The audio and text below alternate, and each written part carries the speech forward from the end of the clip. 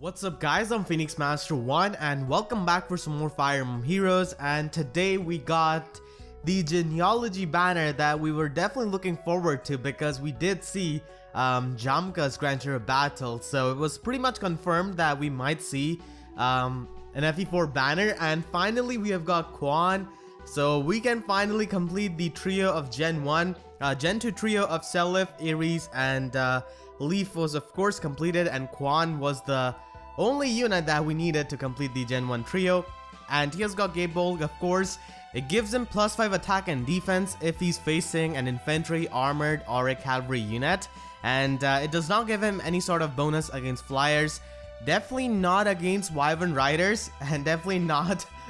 this would have been so perfect if they had Travant's Grand Hero Battle, but of course, uh, we do not have that. So Gaebolg is pretty decent 16 might weapon that does give you plus 5 attack so he can definitely hit pretty hard and I do expect him to have good defense and he has got rally speed defense plus so this is a power crept version of dual rally skills that gives you plus 6 to 2 of your stats for one turn and obviously this is going to be scoring much better in arena and because it does have the plus sign beside its name, it's definitely going to be inheritable. And this is going to be a new high scoring assist skill for Arena. It's definitely going to be the highest scoring assist skill that you can inherit. Um, for units like Micaiah, they do have Sacrifice as their exclusive assist skill, uh, which is 400 SP, but this is probably gonna be lower than that.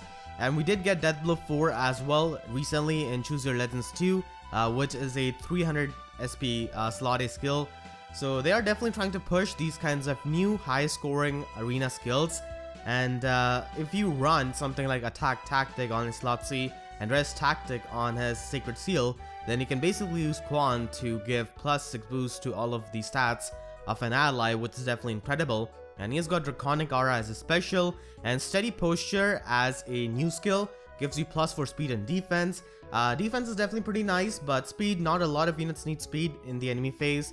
Um, that's why Bracing Stance is definitely much more coveted in my opinion, uh, because it does give you plus 4 res, but um, this can definitely be useful for a lot of units.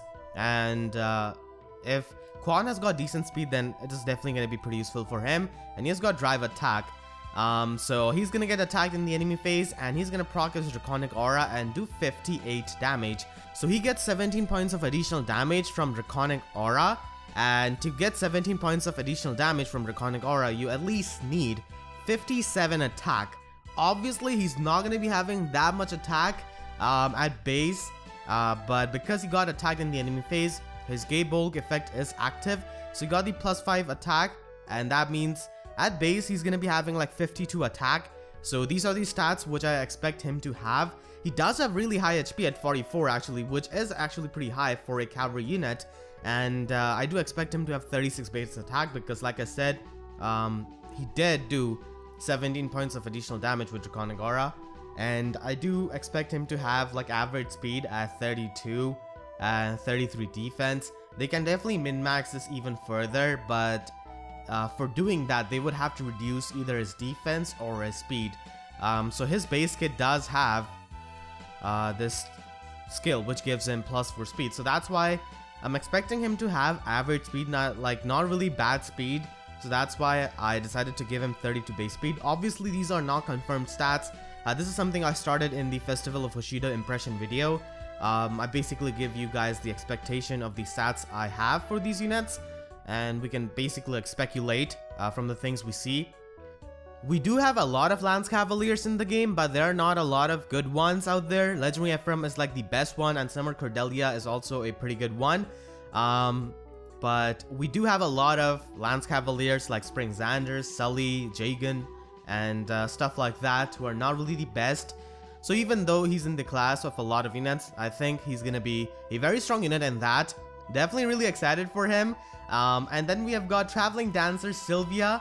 Uh, she's Mother of Lene, and uh, she has Barrier Blade, uh, which is Barrier Sword, of course. But as far as I remember, Silvia gets Defender Sword, which is Safeguard in Fire Emblem uh, Heroes.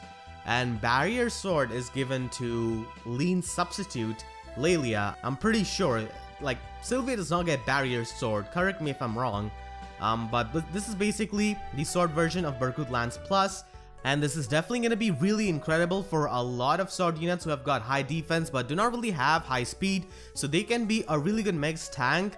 And uh, units like Hinata, Tobin, um, even someone like Saber and Seth, they could definitely run this. And this is a pretty good weapon actually um, if you plan on using this encounter as a slotted skill on your red unit. So this is definitely going to be a pretty nice weapon, a sword variant of Berkut Lance pretty much. And she's got dance of course mirror stance. Um female morgan does have mirror stance. So she's the second unit who has got that i believe. And uh, she has got a dance skill in slot b. Those are not really all that impressive and something like wings of mercy is always better.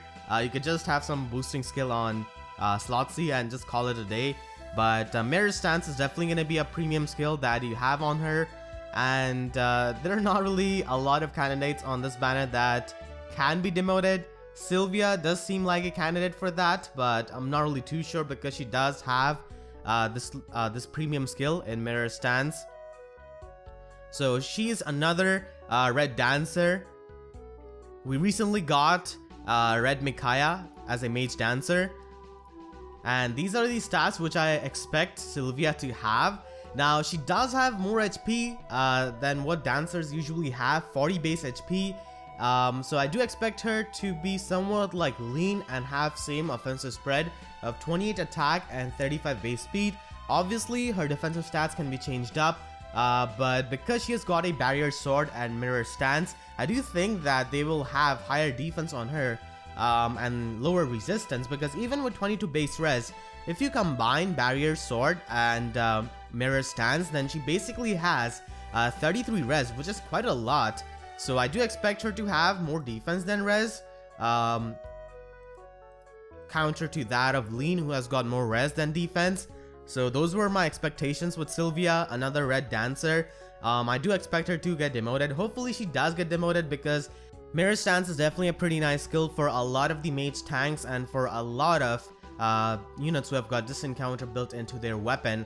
And we don't really have a lot of good defensive skills for Slade, so it's about time they give us something like uh, Mirror Stance, even though we would have to upgrade uh, that unit to get that version 3 of that skill.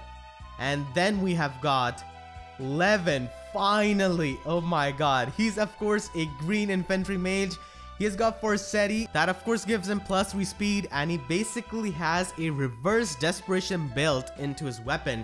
So if he's above 50% HP, he will always have that desperation effect. And this makes him a ridiculous offensive unit because for entering desperation range, you would have to take some damage and enter that threshold condition. But from the start, Lewyn is in the desperation range and he falls off the desperation range if he gets uh, a lot of damage and uh, not taking a lot of damage is definitely going to be pretty easy with him uh, because of his slot skill and because of this effect. So he could definitely kill units pretty easily. He also comes with odd attack wave and glimmer. Uh, glimmer is definitely pretty nice on magical units because on average units in the game have got um, less resistance compared to defense. So on mages, Glimmer is definitely pretty nice. And he has got Swift Sparrow. He's actually the first male in the game who has got Swift Sparrow. All of the other units of Swift Sparrow in their base kit were female units, so that's definitely interesting. And he comes with a new skill, Special Spiral 3. So this is basically the effect of Dark Mistletoe which Ares has. So basically, if an AoE special or if an in-combat special like Bonfire, Ignis, Luna, Moonbow, anything like that procs in combat, and after the combat you get minus 2 cooldown and we have seen how broken Ares is after uh, that effect. So I hope that this is not really inheritable to armor units or even cavalry or flyer units. I just hope that this is something which only infantry units have. Because if cavalry units can inherit this, then Ares will be able to stack up with his Dark Mistletoe effect because as far as I remember, like the game does not say that his effect does not stack. Like from what I remember, like Dark Mistletoe does not say that. So I am thinking that this might just be an infantry exclusive skill and he comes with odd attack wave which is definitely going to be really nice and these are the stats which I'm expecting him to have. I will take nothing less than 40 base speed for Lewyn. He needs to be fast and he needs to be broken and uh, he does have 35 base attack from my uh, stats which I've given him and 38 HP is something we can see on him. And uh, he's obviously going to be having low defense. My stats for Lewyn are definitely min-max, but if they wanted, they could definitely reduce his resistance even more and give him more attack. Um, so I'm really hoping that he's a completely broken unit, honestly. Uh, I'm really, really excited for Lewyn. Please just give him 40 base speed. Please. Just make him insanely fast like he should be. So, really excited for this banner. A big FE4 fan. I was really expecting a Master Knight Lachesis because I feel like Lachesis is kind of misrepresented in Heroes uh, to a degree.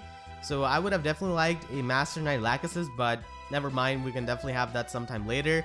Um, and a Legendary Seliph would be really nice at the end of this month if they are going with this FE4 theme, which I think they are because uh, we're going to be getting an FE4 Tempest Trial where Ethlyn is going to be a Tempest Trial reward. I think she might be our first uh, Tempest Trial reward that's a healer. So she's wife of Quan and sister of Sigurd.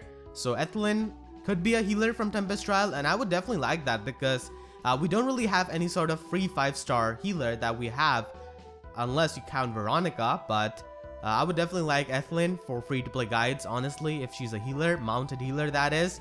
This banner is going to be coming out on 7th, and I think we're going to be getting the version update on that date as well. So definitely really excited about this banner. Definitely let me know what you think about my stat expectation from these units and what would you change and if you agree with them or disagree with them. Honestly, I just want uh, Lewyn to be really insane from this banner. He's the unit I want most out of this banner, and I think a lot of people do as well. Um, so this banner has no alts, so that's definitely pretty interesting. So that is going to be it for this video. I hope you guys enjoyed. If you did, then please be sure to leave a like. And uh, if you haven't already, then make sure to subscribe for more Fire Emblem Heroes content.